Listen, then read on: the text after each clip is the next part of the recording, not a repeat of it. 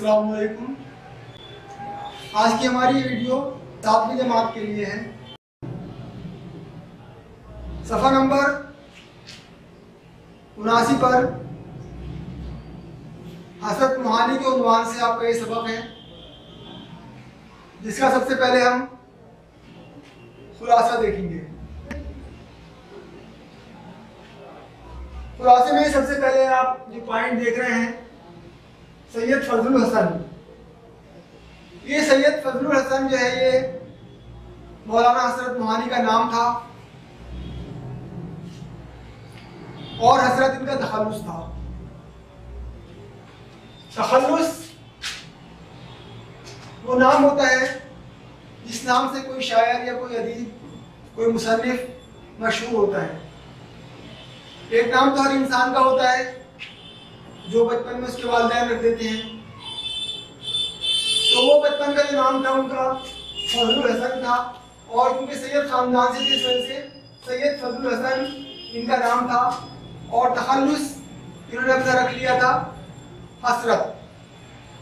हसरत के नाम से ये मशहूर हुए। और पैदाइश इनकी असबा मुहान में हुई थी। उत्तर प्रदेश में जो है, इस एतबार से मुहानी। तो हज़रत मुहानी के नाम से ये जाने जाते हैं। अट्ठावन पचहत्तर में पैदा हुए।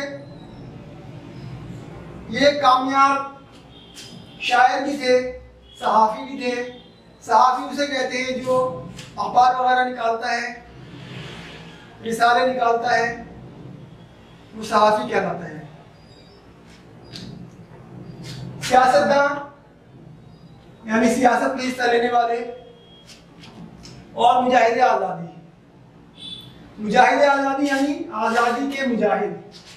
आज़ादी के लिए मुजाहिदा करने वाले, कोशिश करने वाले, जद्दोजहद करने वाले।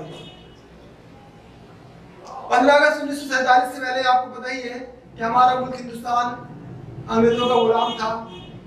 अंग्रेज़ हमारे मुल्क पर हुकूमत करते थे।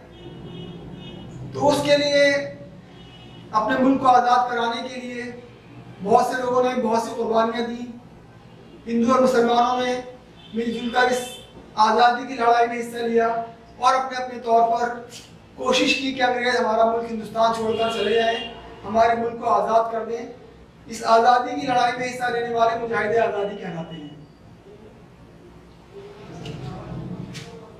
मुसलमानों ने भी बहुत ज़्यादा कुर्बानियाँ दी। उन्हीं में हसरत मोहाली का नाम है, ये सर फहरिस्त है। इब्तदाई तालीम अपने घर के आसपास फतेहपुर वगैरह में हासिल की और ग्रेजुएशन के लिए बीए के लिए अलीगढ़ मुस्लिम यूनिवर्सिटी में दाखिला ले लिया। अलीगढ़ मुस्लिम यूनिवर्सिटी में ही इन्होंने अपने बागियाना ख्याल का इजहार किया। यानी अंग्रेज़ों के खिलाफ तहरीकों में हिस्सा लिया। इसी की वजह से उन्हें कॉलेज से निकाल दिया गया। किराए के मकान में रहने लगे। ये 1903 का साल था जब हज़रत मोहानी की शादी, इनकी बहन से हुई, जिनका नाम निशा बेगम था। जो एक बहुत ही हौसलामंद बाहिम्मत पढ़ी लिखी और मुस्तकिल मिजाज खातून थी। उन्नीस सौ तीन में हज़रत ने एक इल्मी और अदबी रिसाला निकाला। इल्मी रिसाला जिसमें इल्मी मजामी हो और अदबी, अदब से मुतल मजामी उस रिसाले में होते थे। और इसमें सियासी मजामी भी शामिल किए जाते थे। ये उन्नीस सौ तीस में जारी किया और यह उनका रिसाला आखिरी उम्र तक जारी रहा, जिसका नाम था उर्दे मोहल्ला अदबी और सियासी मजामी इसमें शाया होते थे, जिसमें ज़ाहिर सी बात है, अंग्रेज़ हुकूमत की मुखालफत वाले मजामी भी होते थे। और इसी की वजह से 1908 में हसरत मोहानी को दो साल के लिए जेल भेज दिया गया दो साल तक कैद मुशक्क़त और पाँच सौ रुपये जुर्माना। ये आज के ज़माने के पाँच सौ रुपये नहीं, बल्कि उस ज़माने के पाँच सौ रुपये हैं। जब मेरे ख्याल से अगर कुछ नहीं कुछ नहीं तो पाँच सौ रुपये की अहमियत तकरीबन पचास हज़ार के बराबर होगी, या शायद इससे भी कुछ ज़्यादा।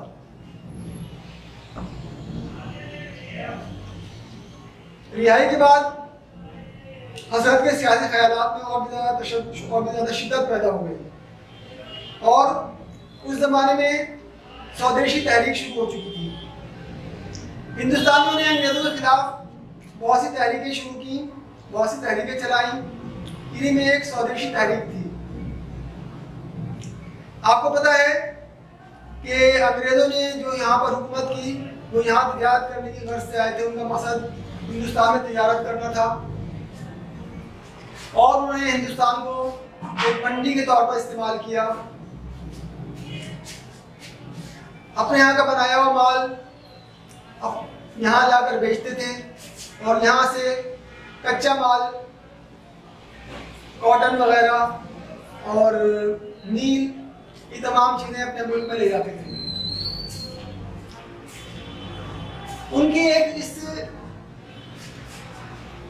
फ़ायदे को नुकसान पहुँचाने के लिए या उन्हें कमज़ोर करने के लिए हिंदुस्तान ने स्वदेशी तहरीक शुरू की। स्वदेशी का मतलब है अपने मुल्क की बनाई हुई चीज़ों का इस्तेमाल करना। और उसके लिए जगह जगह स्टोर कायम किए गए। हसरत महानी ने भी अलीगढ़ में स्वदेशी स्टोर खोला, जो बहुत कामयाबी के साथ चला। फिर 1920 में हज़रत महानी अलीगढ़ छोड़कर कानपुर शिफ्ट हो गए, कानपुर चले गए। और वहाँ उन्होंने एक स्वदेशी स्टोर कायम किया। इसका मकसद अपने मुल्क की बनाई हुई चीज़ों लोगों लोगों को देना, लोगों के हाथ फरोख्त करना और इसके लिए लोगों को आमादा करना कि वो बाहर की चीज़ों को छोड़कर अपने मुल्क की बनी हुई चीज़ें इस्तेमाल करें। हज़रत महानी के मिजाज में बहुत सादगी थी। रहन सहन बहुत ज़्यादा सादा। अंग्रेज़ उनको एक बहुत बड़ा बागी समझते थे। उनका जो प्रेस था 1913 में अंग्रेज़ों ने जब्त कर लिया और 1916 में उन्हें दोबारा जेल भेज दिया गया। अंग्रेज़ों की मुखालफत करने की वजह से हसरत मोहानी कई बार जेल गए। और उन्हें बहुत ज़्यादा परेशानियों का सामना करना पड़ा अपने मुल्क को आज़ाद कराने की, तहरीक में हिस्सा लेने की वजह से। अब जमाना आता है उन्नीस सौ इक्कीस का। कांग्रेस का इजलास था अहमदाबाद में। वहाँ सबसे पहले मुकम्मल आज़ादी की आवाज़ उठाने वाले हसरत महानी थे। इससे पहले मुकम्मल आज़ादी की तहरीक किसी ने नहीं शुरू की थी। ये आवाज़ हज़रत महानी की थी। जहाँ पर महात्मा गांधी और हकीम अकबल खान यही मौजूद थे।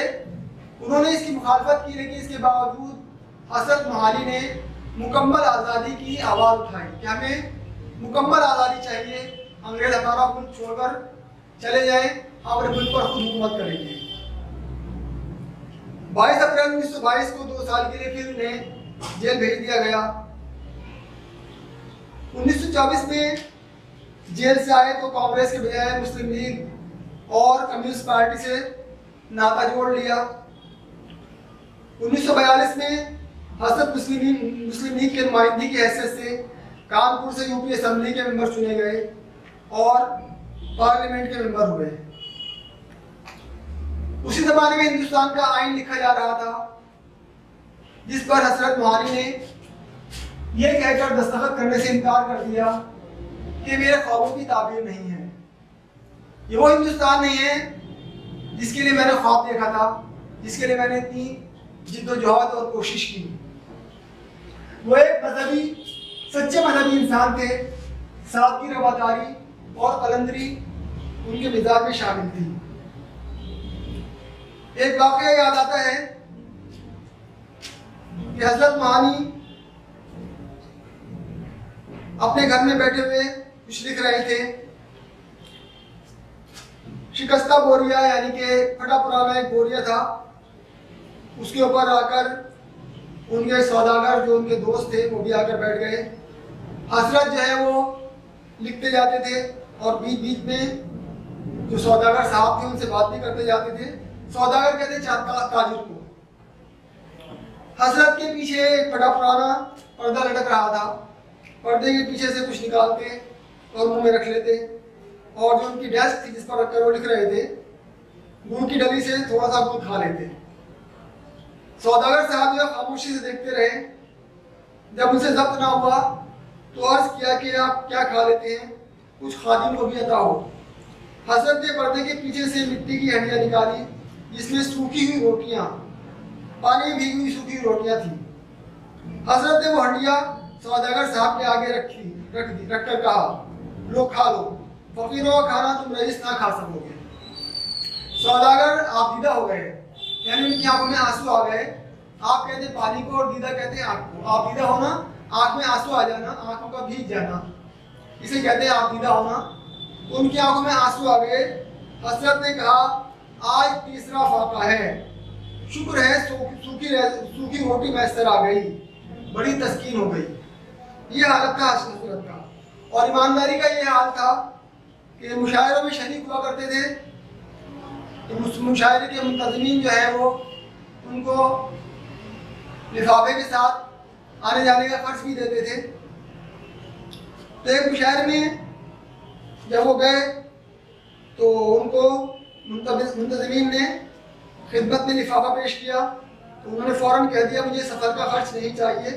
मैंने सफ़र में कुछ खर्च नहीं किया। एक गार्ड जो है, मुझे अपने साथ डिब्बे में बिठा कर ले आया। रेलवे का गार्ड जो होता है। टिकट मैंने ख़रीदा ही नहीं। वो गार्ड आज वापस जा रहा है और मुझे अपने साथ वापस ले जाएगा।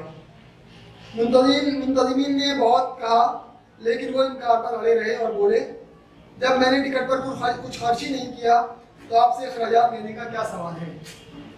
ये ईमानदारी का हाल था। और एक और वाक्य उनका है कि कड़ाके की सर्दी पड़ रही थी।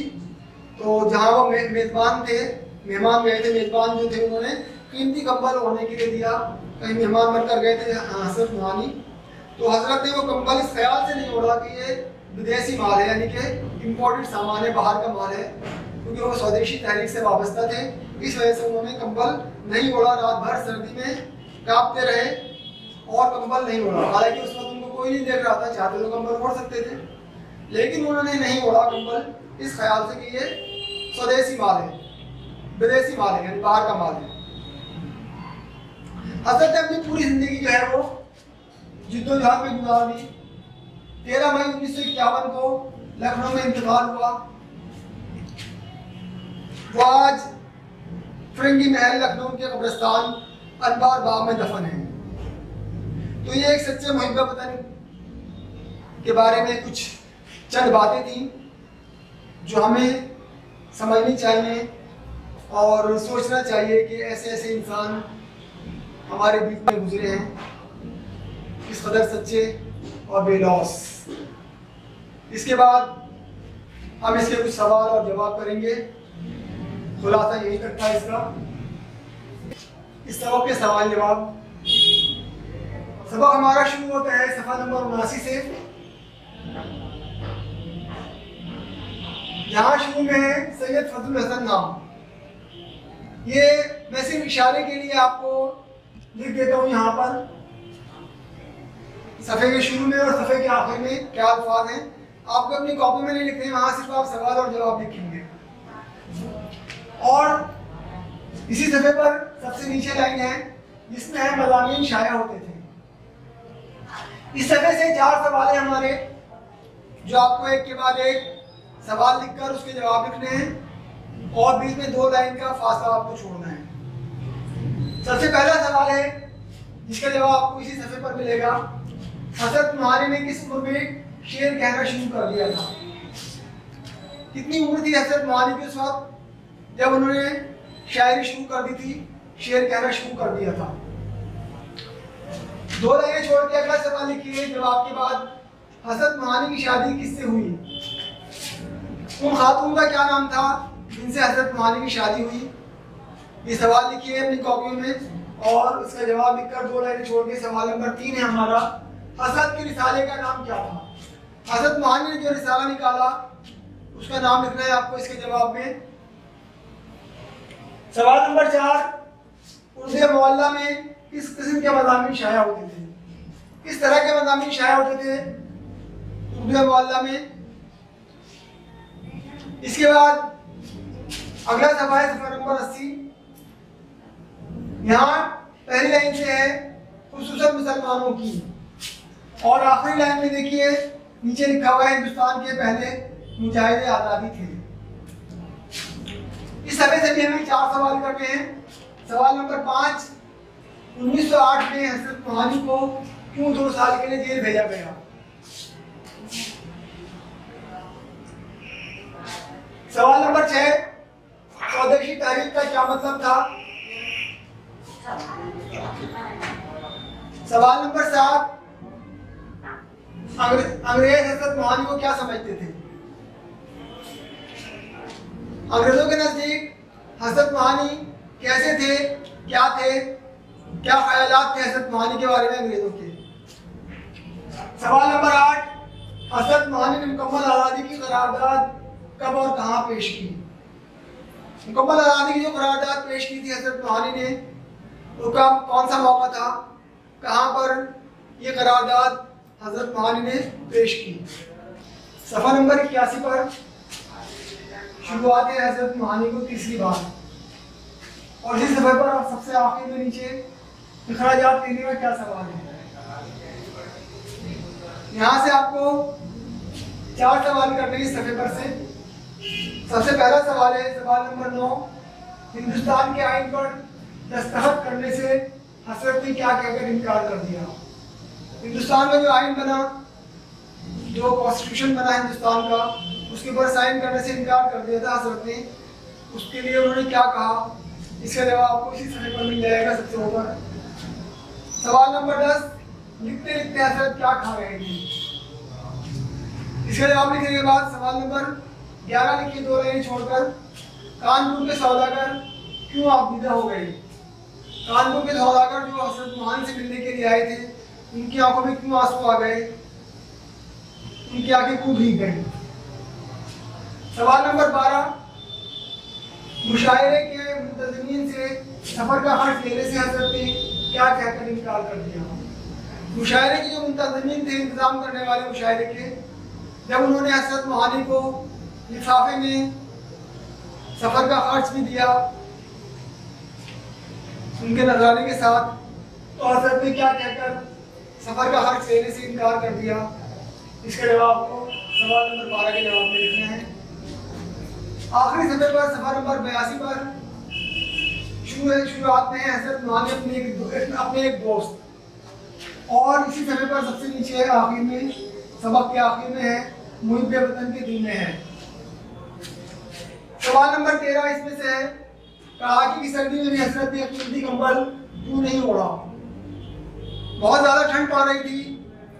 हसरत के पास कंबल भी था, कीमती कंबल, लेकिन हसरत ने वो कंबल क्यों नहीं ओढ़ा? इसका जवाब आपको वहीं से मिल जाएगा, वो देख कर लिखिए यहाँ पर। सवाल नंबर चौदह, हसरत महानी ने पूरी ज़िंदगी किस तरह गुजारी? इसके बाद आखिरी सवाल है, सवाल नंबर पंद्रह। हसरत महानी का इंतकाल कब हुआ? इस तरह यहाँ आपकी ये सवाल जवाब पूरे हुए। अब अगली कॉपी जो है वो आपकी ग्रामर की है। ग्रामर के तीन काम करने हैं आपको, जो हम बताए जाएँगे आपको। ग्रामर की कॉपी में अलग से काम कीजिए। सवाल जवाब की कॉपी अलग होगी ग्रामर की कॉपी अलग होगी। अपनी ग्रामर की कॉपी में तीन काम करें आप। सबसे पहले तो हर सबक के शुरू में सबक का नाम ज़रूर लिखा कीजिए ऊपर। और इंडेक्स में भी सबक का नाम ज़रूर लिखा कीजिए इंडेक्स ज़रूर बनाइए, अपनी कॉपी के शुरू में। तो ग्रामर में सबसे पहला काम है इस सबक का सही जुमले पर सही और गलत पर गलत का निशान लगाइए। कुछ जुमले दिए हुए हैं। उन जुमलों को आपको पढ़ना है और पढ़कर ये समझना है कि जुमला सबक के एतबार से सही है या गलत है। जुमला सही है तो उसके आगे सही का निशान लगा दीजिए अगर गलत है तो गलत का निशान लगा दीजिए। दूसरा काम है मुतदाद अल्फाज। कुछ अल्फाज दिए हुए हैं, उसके मुतदाद लिखने हैं आपको। इस तरह से आप एक बना लीजिए, कॉलम, स्केल से। बिल्कुल सीधी सही, साफ़ सुथरी लाइन। ऊपर लिख दिए मुतदाद अल्फाज।